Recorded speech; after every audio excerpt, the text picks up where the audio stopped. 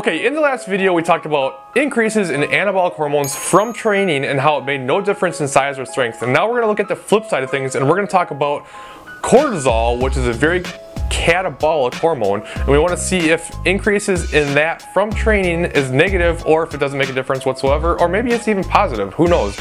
We want to take a look at it and see how things look. So you've probably seen it before at least I certainly have. I've read plenty of articles that say things like make sure you keep your workout under an hour or under whatever certain amount of time because if you go for too long then your cortisol levels start to rise and you're gonna go catabolic and you're gonna lose all your gains or at a minimum you won't make any more progress because if you keep going with cortisol so high you're not doing yourself any good and all you're doing is risking injury and things like that so is it like anabolic hormones or is it true this time?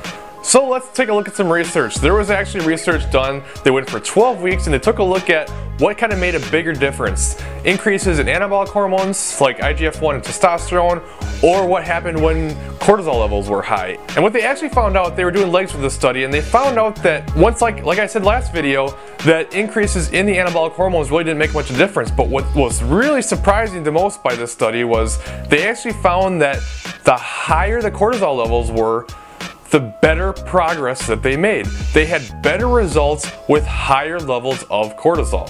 Crazy, right? Catabolic hormone. But it actually kind of makes sense because think about it.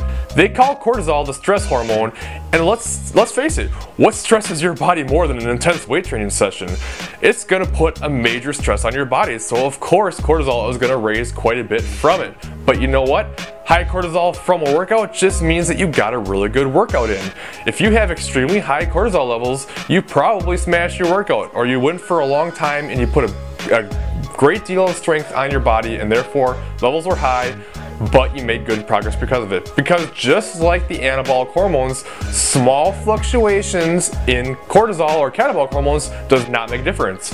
Where it makes a big difference is if you have high elevated levels for a very long time, long-term levels, not short little spikes. So once again, do not worry about hormones during training, before training, after training. It doesn't make a big difference if you have uh, short spikes here and there. No difference whatsoever. Just do what you have to do to get a good workout in.